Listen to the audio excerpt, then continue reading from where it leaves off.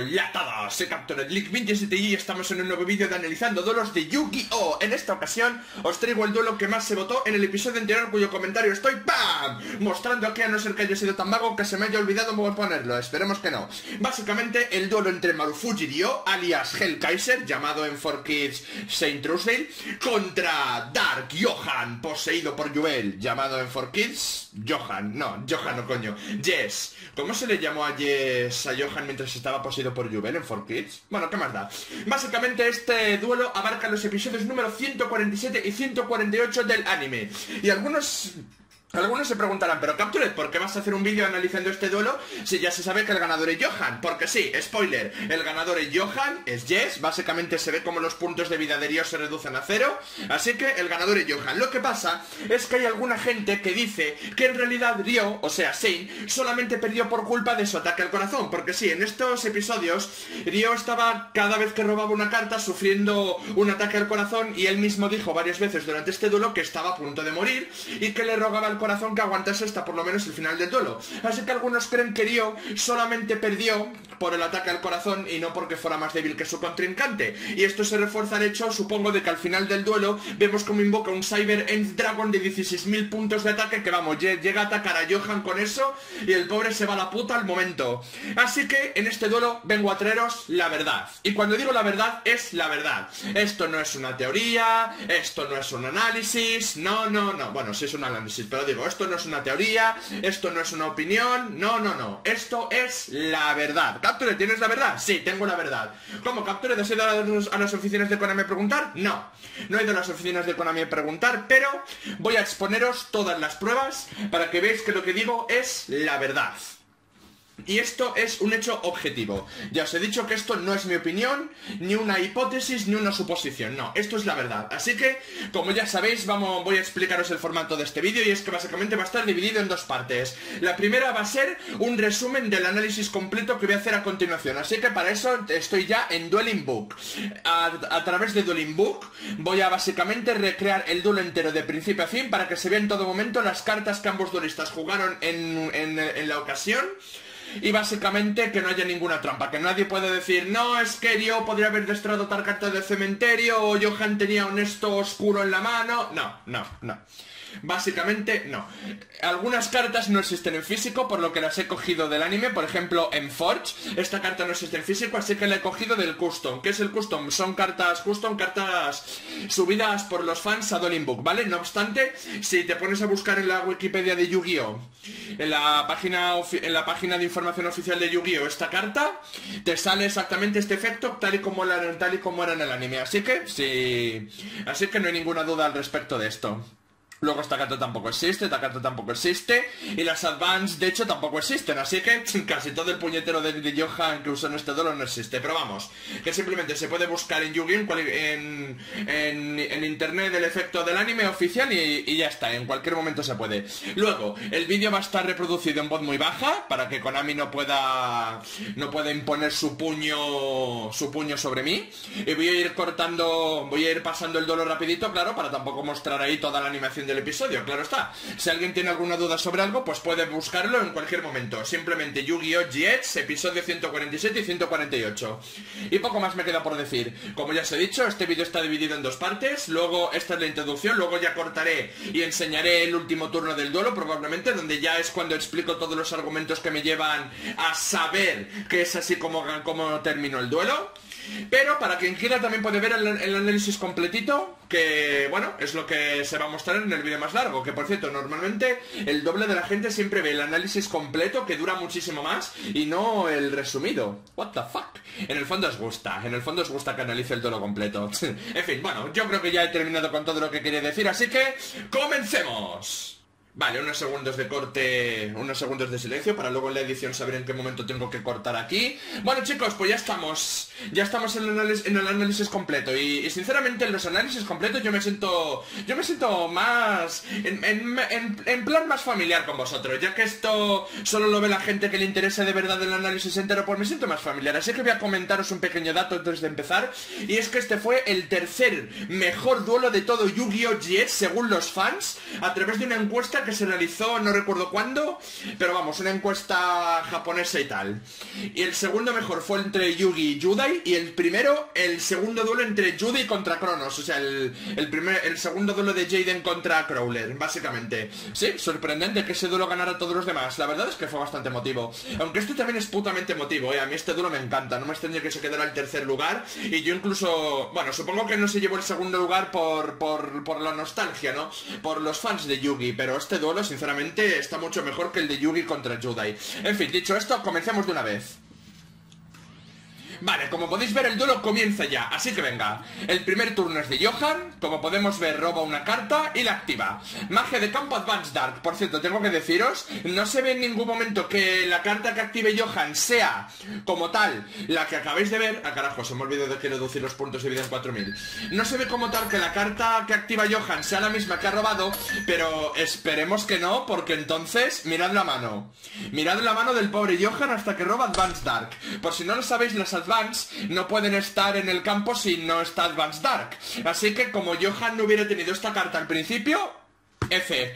F por Johan, que no podría haber invocado nada. Bueno, realmente yo tampoco, porque mirad. mirad esta mano de mierda. Si Johan no llega a dejar monstruos, yo tampoco habría podido hacer una mierda. Así que, en fin. Esto podría haber sido un briqueo sorprendente. Pero bueno, por suerte, Johan puede activar Advanced Dark. Así que el duelo comienza. Realmente no os dais cuenta, pero si os ponéis a analizar cada mano de cada duelo, veréis que hay un montonazo de malas manos que se arreglan por una única carta o por una acción del oponente, ¿eh? Fijaos. Es súper curioso eso, daría para un vídeo y todo, la verdad. En fin, comenzamos el duelo.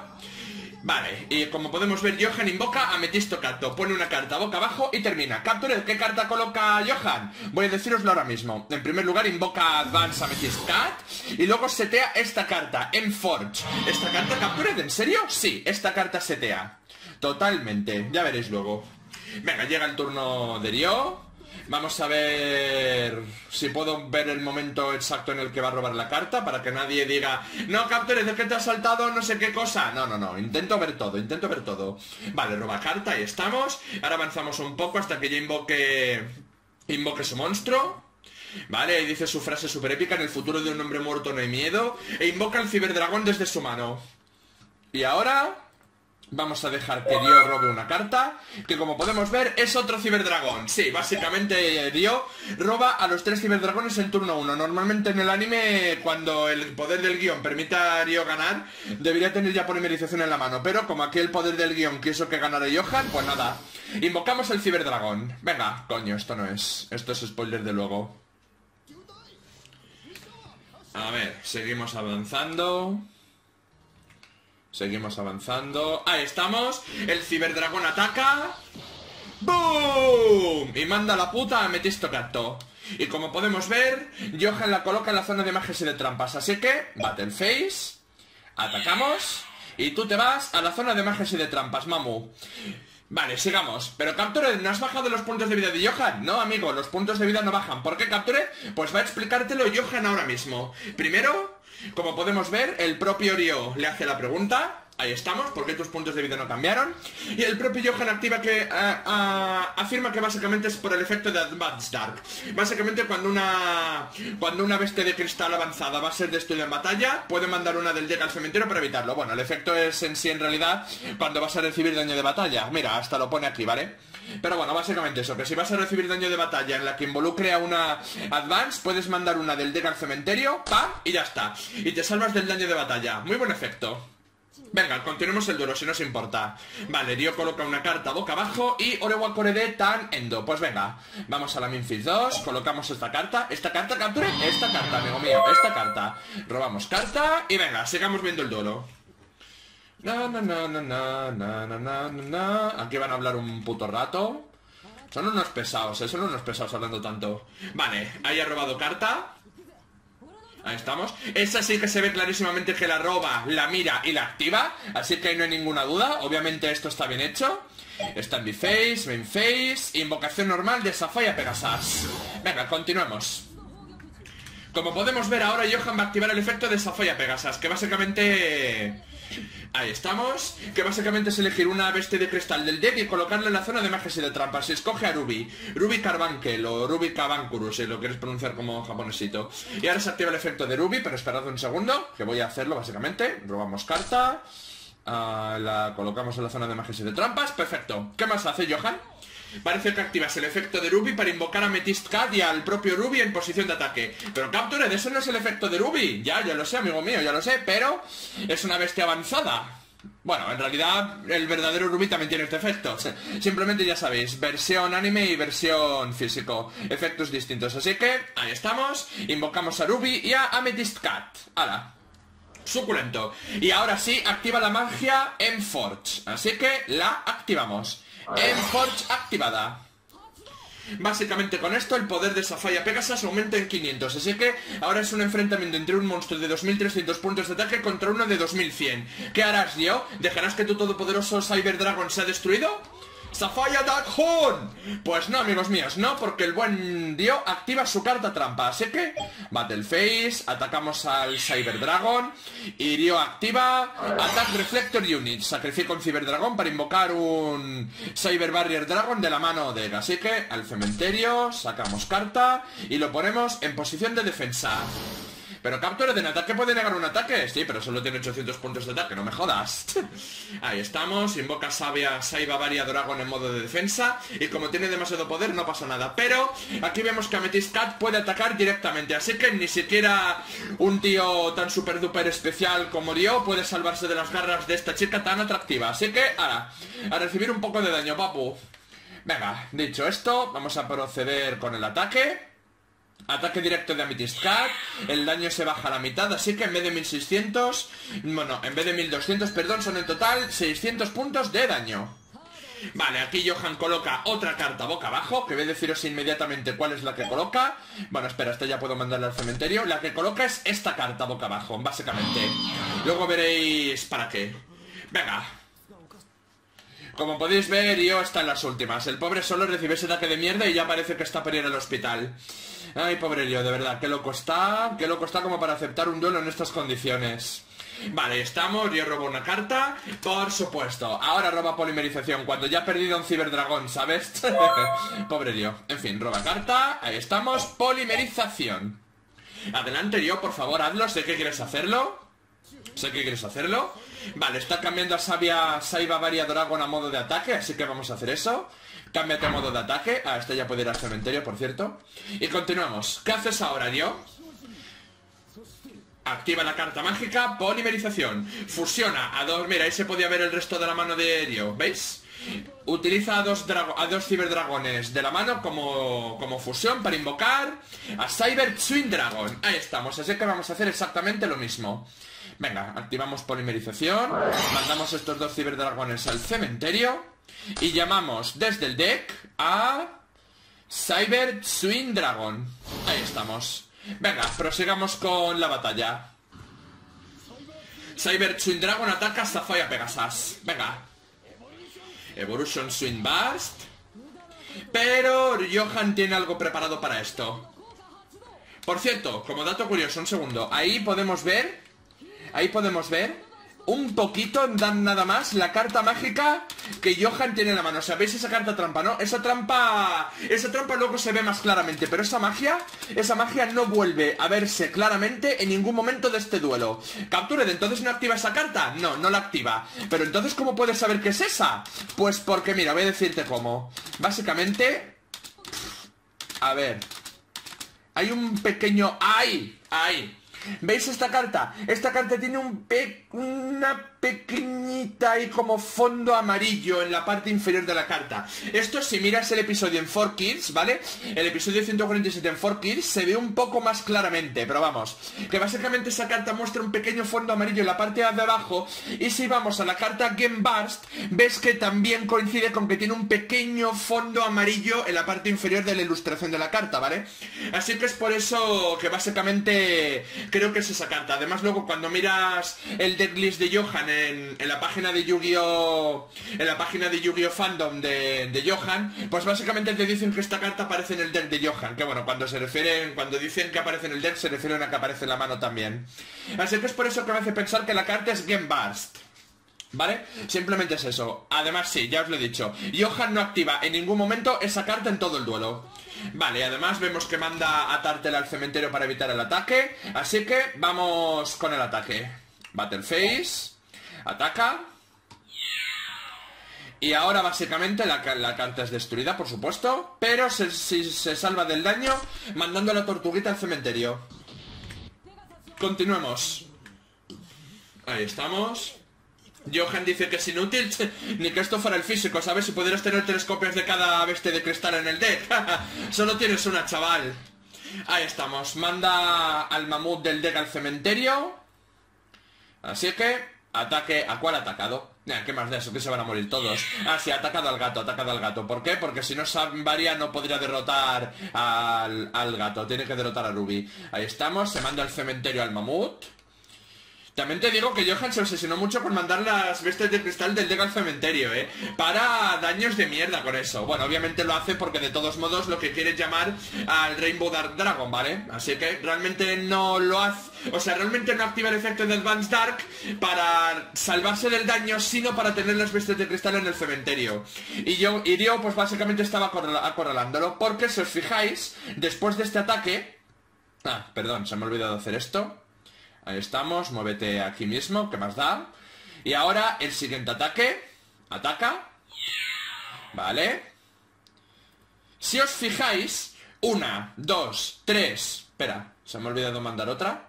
Ahora, una, dos, tres, cuatro, cinco, seis y siete. Ya están las siete bestias de cristal en el campo o en el cementerio. Que es básicamente el requisito que pide el Rainbow Dark Dragon versión anime para ser invocado, ¿vale? El del físico requiere que tenga siete monstruos de oscuridad en el cementerio, si no me equivoco.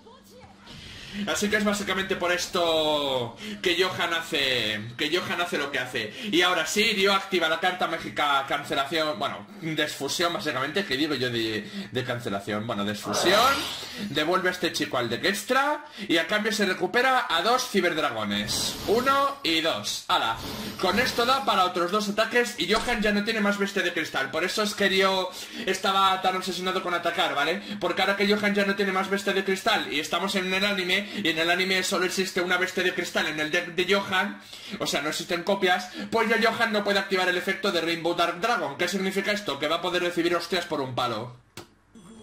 Ahí estamos, los dos ciberdragones.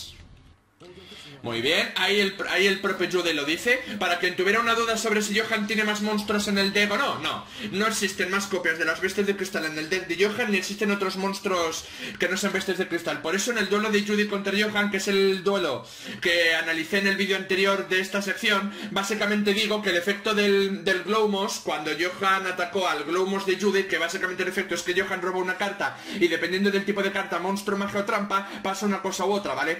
En ese momento el guion, o sea, el guion básicamente no quiso que Judy activara la carta porque no habría tenido sentido. Porque Johan no tiene más monstruos aparte de las bestias de cristal en el deck, ni tiene copias de ella. Esto evidentemente no lo sabía Judy, así que podría perfectamente haber activado el efecto. Es más, hasta Judy se pensaba que Johan tenía a su carta del triunfo en el deck todavía, el Rainbow Dragon, a pesar de que obviamente no, pero eso Judy no lo sabía. Aún así, el poder del guion hizo eso porque, aunque se hubiera activado el efecto de Glow Moss, no habría hecho más que, que beneficiar a Johan. Si roba monstruos, se termina la fase de batalla, sí. Si roba magia, el ataque se vuelve directo. Y si, roba trampa, Glowmos cambia defensa. Glowmos ya estaba en defensa, así que robar una trampa no servía.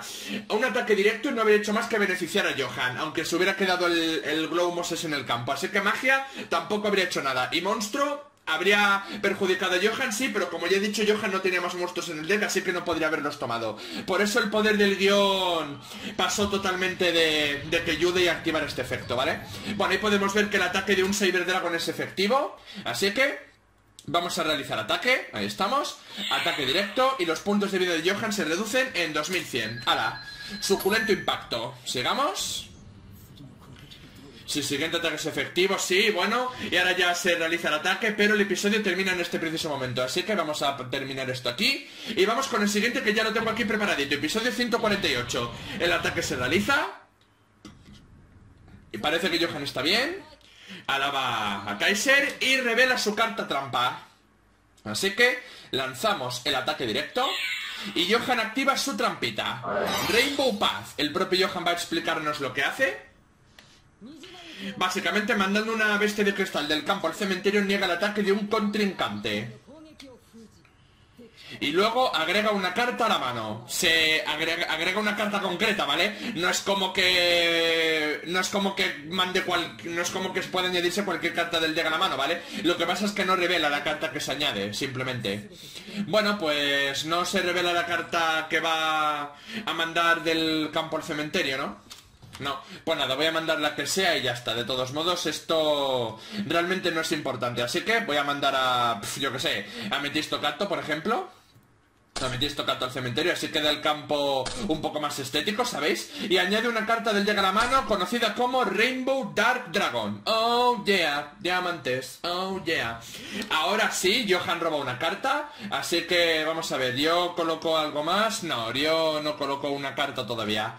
Así que simplemente termina el turno en este momento. Johan llega a su turno, roba una carta y venga, comenzamos. Ahí estamos, como es siete bestias de cristal en el campo o en el cementerio, puede invocar de modo especial a Rainbow Dark Dragon. Así que vamos a proceder con su invocación ahora mismo. Ahí estamos, Rainbow Dark Dragon. Venga, sí, invócalo rapidito, no puedo dejar aquí todos los efectos especiales, que Konami se enfada conmigo. Vale, venga, ¿qué más? Vale, se, se prepara el ataque. Ahí estamos, Rainbow Dark Dragon ataca a Cyber Barrier Dragon. Pero Dio activa el efecto de Cyber Barrier Dragon para negar el ataque. No obstante, ahí estamos. Cuando básicamente ese bicho ataca, el efecto del monstruo oponente es negadito. Así que, básicamente se trata de un ataque de 4.000 puntos contra un monstruo de 800, ¿no? O sea que yo debería recibir 3.200 puntos de daño, si no me equivoco. Battleface ataca. Y son 3.200, el daño que debería tomar. A ver cómo se quedan los puntos de vida de Riot. Tendrían que quedarse en 200. A ver. Ahí estamos, el pobre recibe una hostia tremenda. Joder, si solo con 600 puntos de daño ha sufrido tanto, imaginaos si recibe una de, mil, de, de, de 3000... de 3200. Así que sí, básicamente sus puntos de vida... No, de 3200 no, de... bueno, sí, 3200. De 3200, imaginaos. Hala, Cyber Barrier destruido, y el pobre Río pierde una cantidad descomunal de puntos de vida. ¡Hala! Sus puntos ya penden de un hilo. Ahora Johan coloca una carta boca abajo y termina su turno. No sé exactamente si fue esta carta la que robó o la siguiente, pero bueno, no importa. No importa porque de todos modos vais a ver después cómo la setea, cómo setea la siguiente de cualquier modo y cómo las activa después independientemente del orden en el que son tomadas. Así que, espérate. Vale. Río roba una carta. Ahí estamos. Sacrifica a los dos Cyber Dragon para activar la magia Photon Generator Unit. Así que vamos a hacerlo. Terminamos turno, llega el turno de Dio. ¿Veis? Es lo que os digo. Si Johan hubiera atacado a cualquier Cyber Dragon en vez de a Cyber Barrier Dragon, esta carta habría sido un robo muerto total para Dio. ¿Veis? Pero en fin, como, como Johan priorizó infligir la mayor cantidad de daño posible en vez de deshacerse de los ciberdragones, pues es posible que, que Dio haga esto. Ahora ya está. Y básicamente invoca a Cyber Laser Dragon. Ahí estamos. Venga, continuamos. Algunos se preguntan por qué por qué Dion no utilizó ninguna carta del inframundo en este duelo. O sea, ninguna carta del Cyber Dark Dragon. Yo creo que fue una cosa simbólica, ¿sabéis? En plan, están enfrentándose el Rainbow Dragon y el, y el Cyber Dragon, los dos dragones más poderosos de estos chicos, pues básicamente quería quería el poder del guion que se enfrentaran ellos solos, ¿saben? ¿Sabéis? Sin más sin más añadidos. Pero capture, no se enfrenta al Rainbow Dragon como tal, se enfrenta al Rainbow Dark Dragon. Sí, sí, ya veréis, ya ya ves. Bueno, efecto de Cyber Laser Dragon. Puede destruir un monstruo con ataque igual o mayor al ataque de esta carta. Así que Rainbow Dark Dragon se va a la puta. Pero ahora es cuando... Ahora es cuando Johan revela el otro efecto de Rainbow Dark Dragon, que si manda una bestia de cristal del campo al cementerio, se niega la destrucción de Rainbow Dark Dragon. Así que Vamos a mandar a Ruby al cementerio, que creo que es Ruby la que manda, si no, pues nada, me equivoco. Y ya está, básicamente se impide la destrucción. Así que ya yo, Dios se quedó sin poder derrotarlo. Lo siento, papu. Vale, setea una carta. Vamos. Ahí estamos, coloca una carta boca abajo y termina su turno. Coloca una carta, que evidentemente solo puede ser esta. Y en face. Ahí estamos. Oreno Tandoro roba una carta y entra en batalla. Rainbow Dark Dragon ataca, si el ataque es exitoso, Rio pierde, pero activa la trampa Cybernetic Hidden Technology. ¿Qué hace esa carta? Pues básicamente mandando una máquina cyber del campo al cementerio, destruye un monstruo oponente y termina la fase de batalla. Esto, el, el, ruler estaría, el estaría un poco mal explicado, ¿no? O sea, destruye un monstruo oponente y termina la fase de batalla. En teoría, si no destruye un monstruo oponente, no puede terminar la fase de batalla. En teoría, esto a lo mejor me lo estoy sacando del culo, no lo sé, que alguien...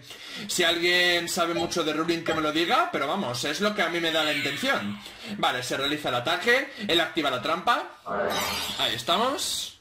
Vamos a mandarlo al cementerio. Sí, bueno, aquí dice Cyber Dragon o monstruo de fusión que lista Cyber Dragon. Así que en teoría Cyber Laser no puede ser seleccionado. Pero bueno, se trata de la Cyber Hidden Technology del anime, ¿vale? Y yo creo que he cogido la del físico por accidente. Así que, en fin, no pasa nada. Lo mandamos al cementerio y ya está. Ahí estamos. Lo manda al cementerio. Y destruye Rainbow Dark Dragon. Pero Evidentemente lo impide con el efecto de ese monstruo. Mira, manda a Falla Pegasus al cementerio que era la que le quedaba. Así que creo que he tomado buenas las decisiones acerca de qué bestias de cristal mandar. Pues es lo que os digo. Se supone que si no se destruye el monstruo no puede terminar la fase de batalla. O sea, es como negar ataque. Si... O sea, es como negar ataque. Si tú negar ataque, primero selecciona el monstruo atacante, niega el ataque y termina la battle phase. Si el monstruo oponente no puede ser seleccionado por efectos, tampoco puedes activar negar ataque, por lo que tampoco puedes terminar la fase de batalla. Bueno, al menos eso creo. Bueno, eso sí lo sé, lo de negar ataque. Lo que ya tendría dudas sería con el efecto de Rainbow Dark Dragon y este tema de ruling. Pero bueno, realmente, ¿cuándo le ha importado al anime los asuntos de ruling, la verdad? Ahí estamos, Johan ya no tiene ya no tiene bestias de cristal, así que ya no puede impedir de nuevo la destrucción de ese monstruo. A ver, Johan. ¿Vas a colocar una carta y terminar el turno o, esa escena me la he saltado? Ah, mira, aquí. Ahí estamos. Coloca una carta boca abajo y termina el turno. Pero no se dice... Pero no lo dice como tal. A ver. A ver. No, no, simplemente se ve claramente que la coloca y termina el turno sin, sin revelarlo. O sea, sin decirlo, vale, pues no pasa nada. Memphis 2, colocamos la carta, que es esta la carta, y terminamos el turno. Así que llega el Derio. Pues sí, desde luego la situación de Rio está jodida. No tiene monstruos, no tiene más cartas en el campo que esa trampita. Que bueno, si roba un Cyber Dragon o algo, bueno, Cyber Dragon no porque ya no le quedan en el deck, pero si roba a Proton Cyber Dragon, por ejemplo, que su nombre se convierte en Cyber Dragon, puede utilizar el efecto. Vale, ella ha robado carta. No lo hemos visto en qué momento. A ver.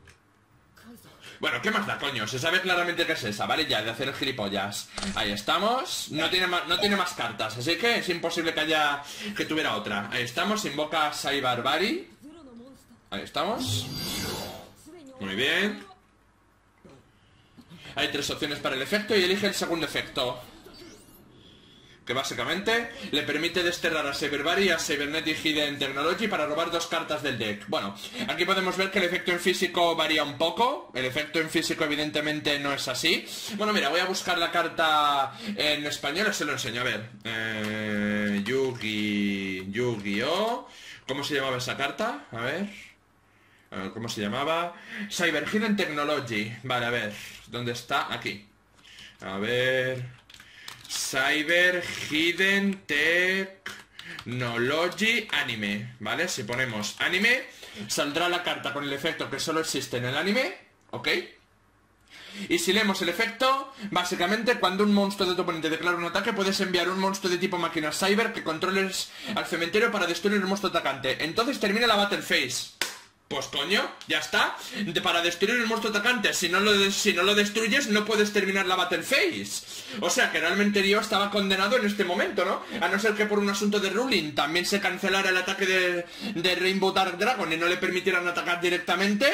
Pero vamos, que puedes enviar esta carta y un monstruo cyber de tipo máquina de la mano al cementerio para destruir un monstruo. ¿Cómo? Puedes enviar esta carta y un monstruo máquina de tipo Cyber de la mano al cementerio para destruir un monstruo bocareva que el oponente controle. Oye, pues si yo hubiera utilizado este efecto con Cyberbari en la mano, podría haber destruido a Rainbow Dark Dragon, ¿eh? Sí, sí. Hombre, se habría quedado sin una puta mierda en, la mano ni en el campo, pero habría podido destruir a Cyber Dragon. Bueno, no, no por lo que voy a. por lo que vais a ver a continuación. Pero esto es otra vez un poco poder del guion, ¿eh? Porque yo no sabía. Yo no conoce las cartas boca abajo boca abajo de Johan. En fin. Bueno, pues nada, simplemente estos son los efectos de Cyber Hidden Technology. Y ahora vamos a buscar la otra carta que es Yu-Gi-Oh! Sai... Coño. Cyber Valley es... No, español no. Anime. Ahí estamos, la carta anime. Y podemos ver que tiene uno de los siguientes efectos, nosotros tenemos que ver el segundo. Destierra esta carta y una carta que controles para robar dos cartas, ¿vale? Este es el efecto de Cyber Valley en el anime. Así que por eso básicamente es posible esto. Yo he cogido el Cyber Valley del físico, pero bueno, básicamente es eso. Ha dicho destierra, ¿no? A ver. Destierra, ¿no? Sí, destierra. Vale, pues desterramos tanto esta carta como esta y sacamos dos cartas. Ahí estamos. Vale, continuad, por favor. Vale, ahí estamos. Johan mm, dio roba las dos cartas, que podemos ver ahí que son magias. Vale, ahora a ver aquí, activa Overload Fusion, que permite desterrar materiales del campo y el cementerio para realizar una invocación de fusión de una máquina de oscuridad. A ver, destierra sus tres ciberdragones, a Cyber Barrier y a Cyber Laser. Así que, Cyber Laser, los Cyber Barrier y los tres ciberdragones. Ichi, Ni, San. Vale, ahí estamos. Y se invoca básicamente a Chimera Tech Fortress Dragon. Ahora, invocadito, papu. Venga. Pasemos esto un poco rápido. Batalla. ¿Vale? Ahora básicamente Ryo va a explicar los efectos de su monstruo, que es que cuando ataca no hay daño, ¿vale? Eso significa, porque tú lo dices, que ningún monstruo puede ser destruido, porque eso es mentira. Que no haya daño de batalla no significa que los monstruos no puedan ser destruidos, pero bueno. Pero por el efecto del monstruo, cada vez que ataque le hará 400 puntos de daño. Además, eso no es todo. Kimerate puede atacar por cada material de fusión usado en él. Fueron 5. Así que puede atacar 5 veces. Además, vamos a mirar los efectos de este monstruo, que este sí lo he sacado de, de la versión anime, ¿vale? Este sí es la carta custom. A ver. Cuando esta carta se invoca de especial, envía todas las otras cartas al cementerio. Esta carta ataca, no se aplica cálculo de daño. Ah, claro, si no se aplica cálculo de daño, ninguna carta... Vamos, no hay cálculo de daño, o sea que realmente no puede ser destruido ninguno. Vale, vale, ya entendí, ya entendí. No se aplica cálculo de daño, de acuerdo. Pues venga. Son 5 ataques y por cada uno se van a bajar los puntos de vida de Johan en 400. Primer golpe, 400. Ahí estamos. Uh, sí, 400. Segundo golpe.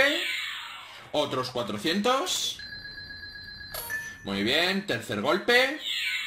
Otros 400. Ahí estamos. Cuarto... Coño, he atacado sin querer ese. Cuarto golpe. Otros 500... Otros 400. Y último golpe. Otros 400. Y Johan pierde. Ya está, se acabó. Fin del duelo. El ganador es Dio. ¡Oh! ¡Qué máquina! ¡Qué épico! Fin, fin del duelo. GGYP, easy game. No, no. Obviamente no. Vamos a sumarle los 300, Santa. Vamos a dejar de hacer el gilipollas. Y vamos a ver qué es lo que sucede en el anime. ¿Por qué razón Johan se salva del quinto ataque? Vale, ahí ya le quedan 300. Ataque definitivo. Vamos a ver qué sucedió. Lo que sucede es... Es, es, es, es, es que descarta una carta de su mano para activar Rainbow Life. Atención a la carta que descarta. Atención. Se lanza el quinto ataque. Ahí estamos. Mirad, ¿veis la carta, no? Ahí. Mira, además está explicando lo que hace. Todo daño que recibí en este turno antes de la activación de esta carta es negado. Ahí se puede ver clarísimamente que la carta coincide, que la ilustración de la carta coincide con Amber Crystal Cycle. Así que es por eso que sé que es esa, ¿vale? Así que Johan activa su carta, que es Rainbow Life. Rainbow Life, manda esta carta al cementerio. Y básicamente dice que todo daño que recibe antes de la activación de esa carta es negado. Fueron cuatro ataques de 400, así que en teoría debe salvarse de 1600 puntos de daño. O sea que debería tener 1900. Es negado. O sea que niega 1600 y sus puntos de vida se incrementan por la cantidad total de daño. O sea que 1600. ¿Sí? Vale, primero, claro, primero se evita todo el daño, ¿vale? Primero se evita todo el daño, así que recupera los 1600 puntos Vale, vamos a ir haciéndolo pasito a pasito para que quede todo claro. Primero todo el daño es negado, así que 1600 porque son cuatro ataques de 400 puntos de daño, 1600.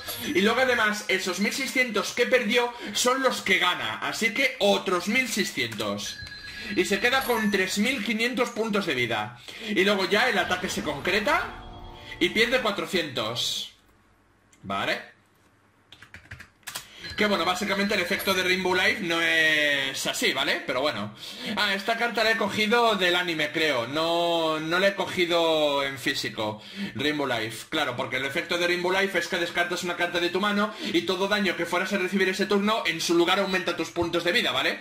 Así que si, esta carta se hubiera aplicado de una manera real, básicamente Dio habría atacado con el primer monstruo y, antes de que el primer ataque se resolviera, Johan ya habría activado esta carta. Sus, sus 1900 puntos de vida se habrían salvado, habría ganado 400, se habría quedado con 2300 y ya Dio no habría continuado atacando. Así que el resultado es que Johan se habría quedado con 2300 puntos de vida en vez de con 3100. Así que una vez más, una carta en físico ayuda. Vale, continuemos. A ver, ¿qué más? Vas a desaparecer en este duelo, pobre Dios.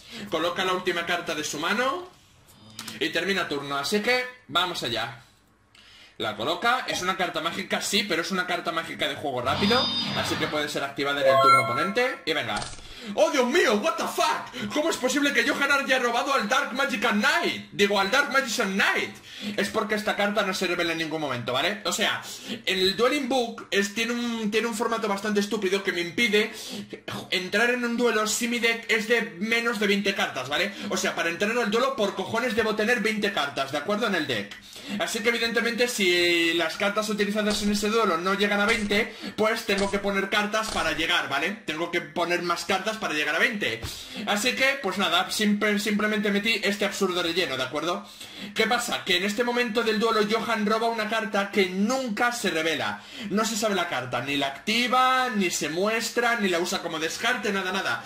Es una carta totalmente desconocida. Así que, pues mira, enseño esta y ya está, por mostrar algo. Podría haber mostrado esta como podría mostrar un dragón blanco de ojos azules o yo que sé, un... Un dragón de péndulo de ojos anómalos o al... O al Cybers Magician, yo que sé, cualquiera, ¿vale? Así que simplemente ese asunto, vale, ya ha robado... Vale, ya he mostrado cómo Dios se la carta y termina. Ahora Sho se pone a llorar un poco por su hermano. Hombre, normal, ¿no? Se le está muriendo su hermano, coño, como para no llorar. Por muy cabrón que se haya vuelto. Vale, estamos, Johan roba carta. ¿Veis? No se muestra en ningún momento. Simplemente Rainbow Reflection. Ataque. Y si el ataque se concreta, Rio pierde, pero activa la magia de juego rápido Dimensional Induced Explosion, que bueno, simplemente se llama Dimensional Explosion, ¿no? Dimension Explosion, vale, pues Battle Phase, ataca. Y aquí Dimension Explosion. ¿Qué hace este efecto básicamente? Pues mira, os cuento. Se activa devolviendo un monstruo de fusión al deck, ¿vale? Así que tú, amigo mío, parece que vas a tener que regresar a tu suculento deck. Ahora, al deck extra, papu. Y ahora, Ambos invocan de modo especial tantos monstruos como sea posible que hayan sido desterrados. Bueno, realmente Dimension Explosion solo permite invocar dos, ¿vale? Pero bueno, es el poder del guion del anime. Y aquí se necesitaba que Ryo invocara a todos los que quisiera, así que es lo que se hace. Esta carta la he cogido del efecto del anime, ¿vale? Si buscáis Dimension Explosion en físico, veréis que es ese efecto el que he dicho, que solo se pueden invocar dos. Así que, Cyber Dragon, Cyber Dragon, Cyber Dragon, Cyber Valley, y no recuerdo si recupera Cyber Laser o a Cyber Barrier. Obviamente tendría que invocar a Cyber Laser, ¿no? Por el efecto de destruir a Rainbow Dragon. O sea, Rainbow Dark Dragon. ¿Cuál ha recuperado? Uno, dos, tres, cuatro. ¿What? Ah, claro, es que el Cyber, en ninguno de estos podrá invocarse de modo especial, ¿no? Claro, supongo que en el anime también tienen la restricción de que no puedan ser invocados excepto por excepto por sus propias cartas. Este por Photon Generator Unit y este por Attack Reflector Unit, supongo. Vale, pues aquí se activa el primer efecto de, de Cyber Valley. Es posible activarlo a pesar de que Advanced Dark debería negar los efectos del monstruo atacante cuando el Rainbow Dark Dragon batalla, porque al invocar más monstruos, Rainbow Dark Dragon debe seleccionar un nuevo objetivo de ataque. Y básicamente, antes de que lo haga, Dio ya puede activar el efecto de Cyber Valley. Al menos esa es mi teoría de por qué carajo puede hacerse esto. Vale, primer efecto de Cyber Valley, roba una carta y termina la fase de batalla. Bueno, destierra Cyber Valley, roba una carta y termina la Battle Phase. Selecciona y activa uno de estos efectos. El primero activa solo durante la Battle Phase, destierra esta carta, termina la, fase de batalla y roba una carta. Así que, vamos allá. Desterramos otra vez a, a Cyber Valley. Ahí estamos. Y robamos carta. Ahí estamos. Continuamos, por favor. Por cierto, en cuanto Rio robó esta carta estuvo condenado, ¿vale? Ahí estamos. Ese fue un mal robo, ¿vale? Ese fue un robo muerto, por así decirlo. Es un maldito para que haga algo así. Como acabo de decir, la fase de batalla termina, por eso Johan no ataca. Y continuemos. Llega el turno de Rio. Vamos a terminar este turno ya. Roba carta. ¿Cuál creéis que será? ¿Cuál creéis? Era evidente. Era evidente que este duelo no puede terminar de otra manera. Power Bonds la activa, hace una invocación de fusión de un monstruo de tipo máquina usando materiales de la mano campo, de la mano o campo, e invoca al Cyber End Dragon con el ataque duplicado, es decir, 8000 contra 4000. Así que como el ataque se completara, Johan se iba a la puta. Ahí estamos. Yo creo que ya en este momento voy a... Voy a enseñaros esto en el vídeo resumido, así que... Ahí estamos, ahora nos ponemos un poquito a hacer flashbacks de los acontecimientos pasados. Y ahí estamos, Cyber Dragon con 8000 puntos de ataque. Muy bien. Y ahora atención, muy importante esto que voy a deciros ahora, ¿eh? Importantísimo esto. Importantísimo. Vale. Vale, aquí Dios revela sus verdaderos planes de no matar a Johan, porque en, esta, en este arco del anime, básicamente cuando un duelista perdía, moría, ¿vale? Pero Johan, o sea que entre el duelo de Ryo y Johan, el que pierda muere. Pero Ryo no quería matar a Johan, quería matar al, ente que está controlándolo, es decir, a Yubel. Quería matar a Yubel con este duelo. ¿Cómo coño lo habría hecho? Ni puta idea, pero bueno, da igual. Es, es, es Hellkaiser, si él quiere puede. Bueno, en realidad no, porque no pudo, pero en fin. Ahí estamos. Vale, espérate, que me, he avanzado demasiado. Fase de batalla. Y se viene el ataque, pero como podemos ver, Johan activa la trampa Counter Game. ¿Qué hace esta trampa? Pues esperad un segundo. Primero vamos a declarar ataque. Recordad, 8000 contra 4000. No obstante, agrego tantas bestias de cristal como sea posible de su cementerio en su zona de magias y de trampas. Atención, 1, 2, 3, 4, 5. ¡No! No. ¿Cómo que no capture? No. Vamos a ver. Esto de toda la vida, ruling super básico, una carta activada no va al cementerio hasta que se resuelve. Es decir, que para el momento en el que Johan va a colocar bestias de cristal en la zona de magias y de trampas, esta carta todavía existe en el campo. ¿Qué quiero decir con esto? Que solo cuatro pudieron colocarse, no cinco, cuatro. Que van a ser, pues yo que sé, esta, esta, esta y esta. Es un asunto de ruling. Preguntad a, a quien quiera que queráis que sepa lo suficiente de Yu-Gi-Oh! Es un tema de ruling. Hasta que la carta no se resuelve y mientras se están colocando las bestias de cristal en la zona de magias y de trampas no se ha resuelto, hasta que la carta no se resuelve, no va al cementerio. Es decir, que solo cuatro bestias de cristal pudieron colocarse. Solo cuatro y ni una más. ¿Qué quiere decir esto? Que ahora se va a activar el otro efecto de Rainbow Dark Dragon, mirad.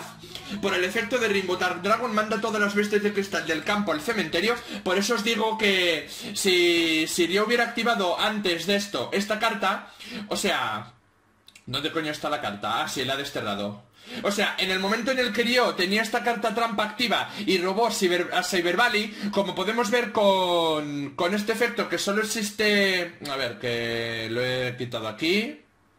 Ahí estamos. Esta carta, este efecto, este segundo efecto de puedes enviar esta carta y un, y un monstruo cyber de tipo máquina de la mano al cementerio para destruir un monstruo boca arriba del oponente. Si yo hubiera activado este efecto para destruir a Rainbow Dragon, básicamente Johan habría activado en respuesta esta trampa, habría recuperado las bestias de cristal, habría mandado cualquiera del campo al cementerio para evitar la destrucción de Rainbow Dragon y ya en el siguiente turno habría atacado directamente a Ryo y como este no habría tenido nada en campo ni mano, habría perdido el duelo con ese ataque, ¿vale?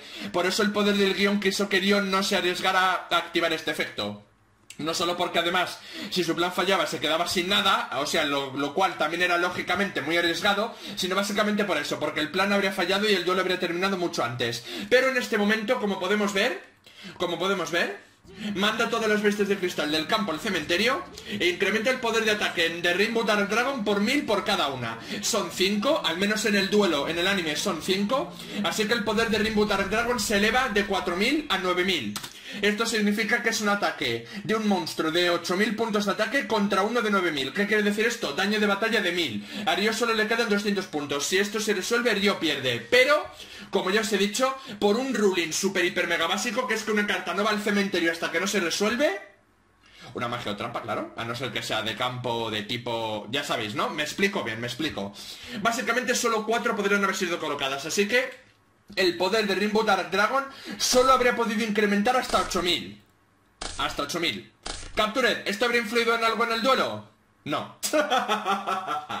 no, la verdad es que os he explicado todo esto para nada, porque realmente no habría influido para nada. Simplemente lo único que os, quiero, quería decir con esto es que Johan podría haber aumentado el ataque de su Rainbow Dark, Dragon hasta 8000 y si el ataque se hubiera concretado, el, el Cyber End Dragon y el Rainbow Dark Dragon se habrían destruido mutuamente, ¿vale? Se habrían destruido igual. Ambos se habrían caído que significa que Ryo al, menos podría haber derrotado al Cyber, al Rainbow Dark Dragon de Johan, al menos lo habría hecho caer, pero ya está, ¿sabes? Ya está, ya está, tampoco se flipe, que eso no, no impide el efecto de daño de Power Bond al final del turno. Y Cyberneticson no funciona si el Cyber Dragon es destruido, así que que no se flipe, que eso tampoco habría hecho nada, ¿vale? Simplemente Ryo se habría llevado la gloria de derrotar al Cyber, de derrotar al Rainbow Dark Dragon, perdón, pero ya está, ya está. ¿Que habría quedado muy épico si hubiera sido destruido? Sí, porque entonces habría regresado el Cyber Dragon con 16.000 puntos de ataque y Johan no habría tenido nada en el campo. Ni habría tenido nada más, porque ya no le quedarían bestas de cristal ni nada. Así que habría estado genial que el juego hubiera respetado, que, que el duelo del anime hubiera respetado este ruling. Sí, habría estado genial, pero no lo hizo. Así que el juego por alguna razón se inventa una sexta casilla en la zona de magias y de trampas que permite colocar una quinta gema a pesar de que ya tenías ocupada una zona de magias y de trampas con tu carta, pero ya está, ya está. Ya está. No nos flipemos, que Johan no habría perdido en este turno ni nada. Y ahora, como podemos ver... Como podemos ver antes de que el ataque se resuelva... Bueno, a ver si lo hacen ya de una vez. Ahí estamos. Magia de juego rápido, Cybernetic Stone. Básicamente destierra a Cyber End Dragon. Así que vamos a hacerlo. Destierra a Cyber End Dragon. Ahí estamos. Vanish. ¿Ahora qué más? Termina la fase de batalla. Atención porque este momento es súper, hiper, mega épico. Qué lástima estar escuchándolo con la música tan baja y yo hablando de fondo. Atención.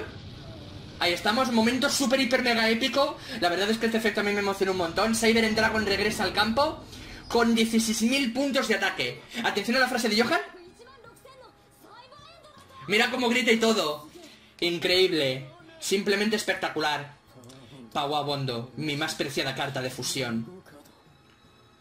Pero una carta con poder también viene con un riesgo.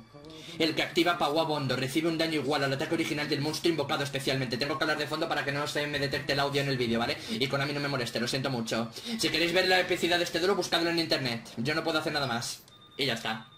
Los puntos de vida de Rio se reducen a cero. Así vida de Rio se reducen a cero. Así que el ganador indiscutible es Johan. Vale. Chicos, para que esto cobre sentido y nadie piense que simplemente fue por el ataque al corazón, tenemos que leer el efecto de Cybernetic Son. Pero no vamos a leerlo en Dueling Book porque cualquiera puede pensar que está manipulado. Vamos a leerlo aquí en la página en la página wiki de Yu-Gi-Oh que se dedica a recopilar toda la información oficial del juego, ¿vale? Básicamente Cybernetic Son. Selecciona un monstruo boca arriba de tipo máquina de fusión que controles y destiérralo hasta el end phase de este turno hasta el end phase de este turno. Es decir, cuando ese monstruo vuelve al campo, duplica su ataque. Lo destierra hasta el end phase. ¿Qué quiere decir esto? Que el monstruo vuelve en la end phase. En la end phase, en la fase final. Cyber en Dragon vuelve en la fase final con el ataque duplicado. En teoría tendría que haber regresado con 8000 porque, o sea, con 8000 en total, porque cuando se destierra y ya regresa, ya las ganancias de ataque o disminuciones que tuviera mm, se olvidan ya, ¿vale? Se olvidan. Así que en teoría tendría que haber vuelto con 4000 y luego duplicar su ataque hasta 8000, ¿vale? Pero bueno, mm, decidieron que era mucho más épico que llegar a 16.000. Así que Saber en Dragon regresa con 16.000 puntos de ataque. Pero, ¿qué pasa? Que estamos en el face. Ryo no puede atacar, no puede atacar, y además el efecto de Cybernetic Son, si lo vemos... Durante tu próxima stand de face, destruyelo. Así que incluso aunque Johan hubiera continuado el duelo, yo que sé, continúa el duelo, ¿vale? Continúa el duelo y yo que sé, hace alguna mamada.com, igualmente no habría tenido nada para... no habría podido hacer nada, así que si terminaba el turno, llegaba otra vez el turno de Rio, pero ya de poco... de poco servía esto. Así que sí, estamos en el face. Rio no puede atacar y, por el efecto de Power Bonds, durante el end phase del turno en el que esta carta es activada, tomas daño igual a la cantidad de ataque ganada del efecto... ¿Qué cojones dice esta gilipollez? Bueno, que básicamente tomas daño igual al ataque del monstruo que invocaste, ¿vale? No sé qué coño dice ahí, pero vamos, que básicamente es eso. ¿Qué significa esto? Que eso del daño no te salva nada. Dio no tenía nada para evitar el daño. Dio no tenía nada Mm, el, efecto de Powerbomb se activa, hagas lo que hagas, aunque el monstruo se destruya, aunque el monstruo se destierre, aunque pase lo que pase, el efecto se activa, así que durante el end phase, Dio recibe 4.000 puntos de daño y pierde el duelo. Fue muy épico y tal, fue muy guay conseguir un monstruo de 16.000 puntos de ataque, pero la realidad es que por muy épico que quedara el anime tal, en el momento en el que Dio robó Cybernetic Son y Johan activó esta trampa, se había terminado el dolo. Si hubiera robado otra carta, como Severkirin, por ejemplo, que puede reducir el daño de batalla a cero, o sea, el daño de efecto a cero, perdón, Severkirin, que lo utilizó en su segundo duelo contra Judai, si hubiera robado a Severkirin, pues mira, lo invocaba de modo normal, lo sacrificaba y no habría recibido daño por el efecto de Cyber Dragon. Bueno, se habría destruido, bueno, habría recibido el daño de batalla, no, no habría recibido el daño, no había recibido el daño de batalla, porque si se hubiera porque si se hubiera respetado la ruling, como ya he dicho, solo habría podido colocar cuatro bestias de cristal aquí, las mandaba al cementerio, su ataque llegaba solo a 8000 y ambos se destruían con 8000 y luego Rio con Cyber Kirin lo sacrificaba y reducía el daño de efecto a cero. Pero no, no robó Cybernetic Son. Y además, de todos modos, aunque el duelo hubiera continuado, el que más probabilidades de ganar, de ganar era Johan, porque como podemos ver, yo ya no tenía nada. En campo, ni mano, ni cementerio, había nada que pudiera utilizar. En cambio, Johan tenía una carta en el anime una, carta en la mano que no conocíamos. Esta carta no se revela en ningún momento, por eso puse esta gilipollez. Así que Johan tiene una carta más querido que podría haber sido, yo que sé, algo para revivir, una bestia de cristal o lo que sea. Y además, cuando hubiera llegado su turno, habría robado otra. Es decir, habría tenido dos cartas para jugar. Y yo, pues, no tenía nada no tenía nada, porque de todos modos, aunque el Saber Dragon se hubiera quedado en el campo con 16.000 puntos de ataque, que no habría sido posible porque no tenía forma de evitar el daño, aún así, Johan podría haber preparado alguna estrategia para salvarse del Saber Dragon. ¿Que luego Rio podría haber robado otra carta y haber aprovechado de alguna manera? Sí, pero de todos modos ya lo digo. Para evitar el daño, la otra carta tenía que ser Saber y no algo que redujera el daño de efecto. Y eso ya era complicado. Así que el ganador del duelo es Johan. ¿Por qué el ganador del duelo es Johan? Porque Dio pierde por el efecto de Powerbomb. No es porque el ataque al corazón lo mate, porque de hecho podemos ver durante el episodio que hablan un poco más. Ahí todavía está él con vida, está, está, está consciente el tío, ¿vale? Así que el, el ataque al corazón no fue. Y, muchos se preguntan cómo es posible que Sirio muere aquí, cómo es posible que regresara en la cuarta temporada. Bueno, no recuerdo qué número de temporada era, creo que la cuarta. Pues yo creo que fue porque Rio no murió como tal por el por el dolor del corazón, ¿vale? Sino que murió simplemente por, por, porque perdió el duelo. Y como todos los demás que revivieron cuando se terminaron los duelos en la temporada y tal, pues yo creo que Dio regresó por eso, ¿veis? Ahí como podemos ver se está desvaneciendo como tal por perder el duelo. No es como que muriera ahí por el daño, por el, por el infarto al corazón. ¿Vale? Así que yo creo que básicamente fue por eso. Dio antes de morir por el ataque al corazón desapareció de esa manera o sea, perdió, o sea, desapareció por perder el duelo y luego ya en la siguiente temporada volvió. Ya volvió como todos los demás que perdieron y ya supongo que ahí el corazón se le estabilizó un poco y recibiría tratamiento médico para no morir. Al menos yo creo que fue eso. Pero el resultado de este duelo es así.